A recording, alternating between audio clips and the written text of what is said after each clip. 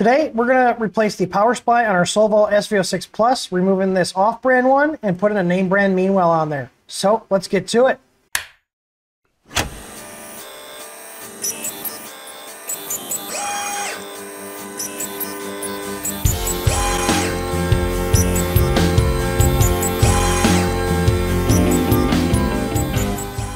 So considering I've gotten many comments on our YouTube channel and people asking on our live streams about the SV06 Plus and the power supply, I figured it was time to do a video on it since this is the first mod I've been doing to my printer.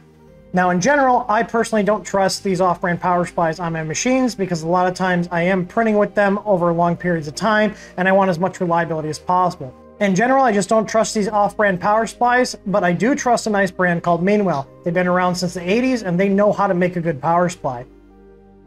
So one thing I do want to preface this, because I know there's going to be people leaving comments, is the power supply that comes with the Sovol SV06 is labeled as a 500 watt power supply. But in terms of reliability, I don't trust that it'll actually put out 500 watts for very long. Just during the initial unboxing and doing the test print, I did smell a similar smell that reminded me of the one that came with my Ender 5 Plus, which oddly had the same off-brand power supply in it when I got it.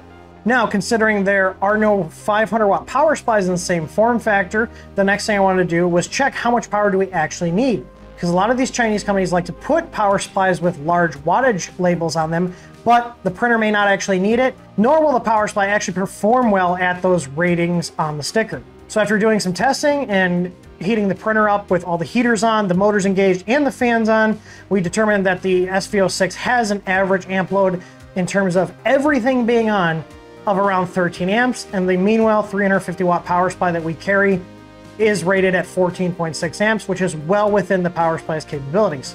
Now, the other thing to know is that once you're at temperature, the power supply load actually drops off considerably to around the 2 to 3 amp range, and this is for most 3D printers. So with all that out of the way, I'm gonna go from start to finish, taking the old power supply off, fitting our power supply and the custom cover we designed, and reinstalling it on the printer. If you guys want to get one of these power supply kits, there's a link in the video description for the SV06 power supply conversion kit that includes a power supply and our custom cover. I'm gonna show you guys how to do that right now. So the first thing we need to do when replacing our power supply on the SV06 Plus is go ahead and turn off the power and unplug the printer. So the stock power supply comes off with the screw here, and there's one down here. As you see, my gantry's in the way, so we can just go ahead and move it up until we have access to the screw. We're gonna go ahead and take these screws out here to get the power supply off. Now we're gonna take the top one off. As soon as this one comes off, the power supply is gonna be loose, so make sure to grab it. Set aside the two screws we took out. We're going to need these to put the new power supply in. Disconnect three pin plug from the printer. And now we should have the separate power supply unit. So the next thing we need to do is take the four screws out of the stock power supply. There's two on the side and two on the back.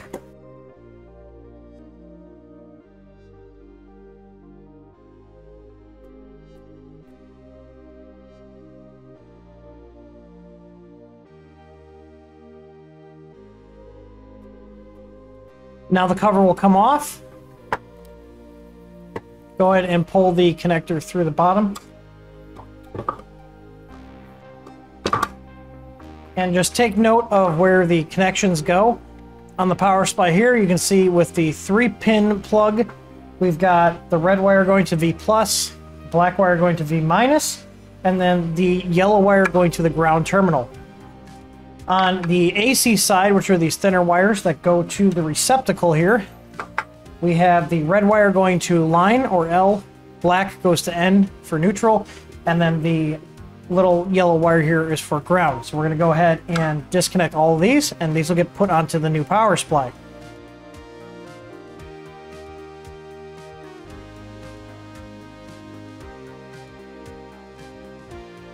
Last thing we need to do before we install the new one is we have to take these two screws out to remove the receptacle from the stock housing. This will be put into the new housing.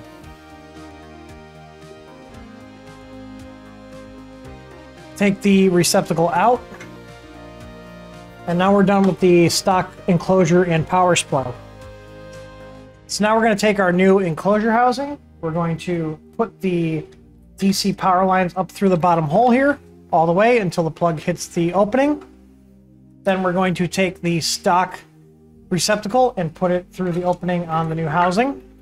And then we're going to go ahead and put the screws that we took out of this from the old one into the new one.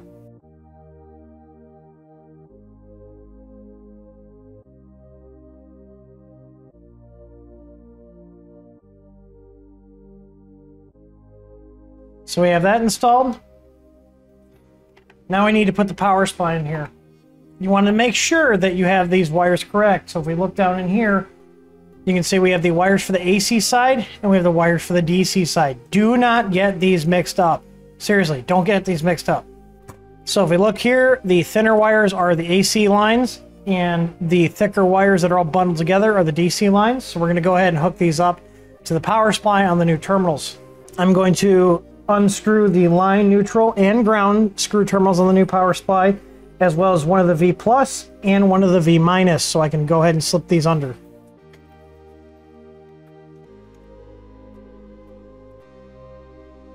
Remembering which is which is very important, like I said before.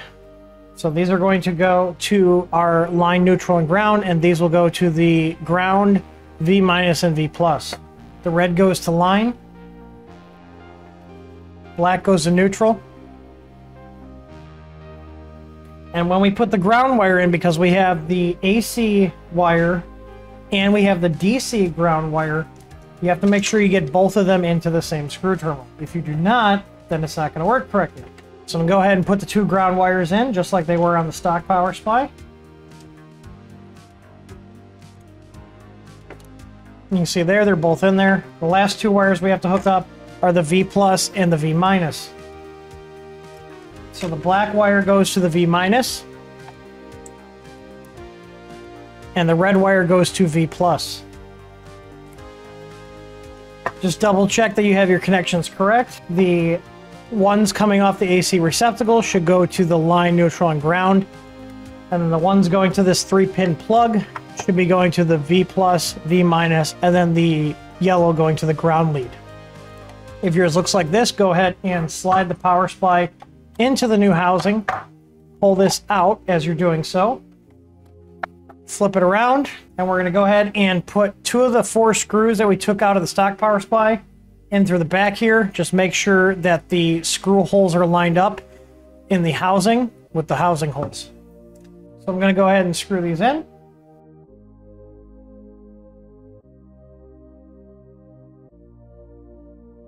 So now we have the new power supply assembled. We have the new Meanwell in here with our custom cover. The receptacle is into the new housing. We have our DC power coming out the bottom. Go ahead and make sure that this is in the off position. So the next thing you need to do is make sure that you set the voltage switch to the correct voltage for your country. These all come set to 230 volts. I'm in the US, so I'm gonna make sure that this is set to the 115 setting. Just like that. And now with that all done, we can go ahead and put this back on the printer plug this cable back in, and then we're done. So go ahead and put one of the screws through the holes, and then put the other one in the bottom here. And we're going to go ahead and screw the power supply on. Make sure the holes line up with the one in the power supply.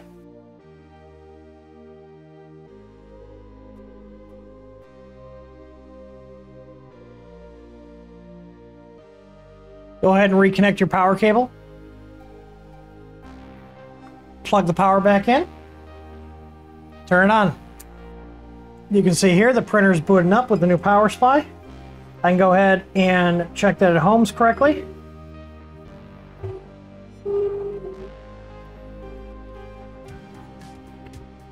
We're gonna go ahead and heat the bed and the hot end just to put a load on the power supply to make sure it all works. And you can see here, everything's heating as it should.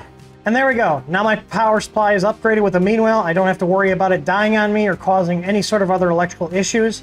I hope this video was clear and concise to show you guys how to swap this out. This is actually probably one of the easiest modifications to do to this printer. We will be coming out with other modifications and upgrades for the SV06 Plus, so stay tuned to our channel and our website for any further updates. Thank you guys for watching, and as always, happy printing!